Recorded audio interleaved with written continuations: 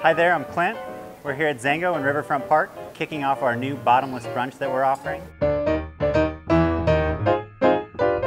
Featuring a, a wide variety of things that you can come in and, and, just eat your fill of. Anything from sushi to ceviche, our pork arepas, empanadas, uh, a whole vast menu that you can come enjoy.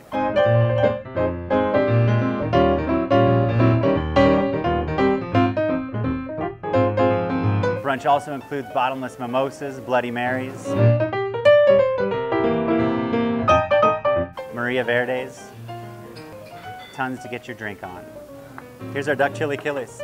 Thanks.